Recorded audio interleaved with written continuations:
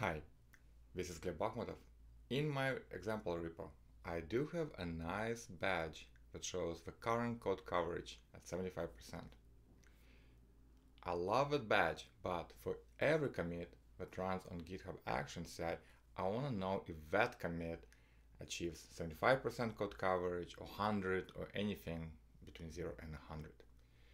So to do that, check code coverage, which is a series of utils that I have built for interacting with code coverage has additional script. So update badge is what we used to set the readme badge. There is also set GitHub status script. You use it like this. You place it in your GitHub Actions file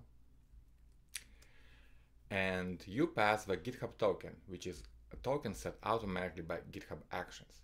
The rest of information, like repository and commit SHA will be grabbed from GitHub environment variables. So what does this command do? When it runs, it sets a commit status. So let's see. Let me look at my commits. No, not here. In the repository.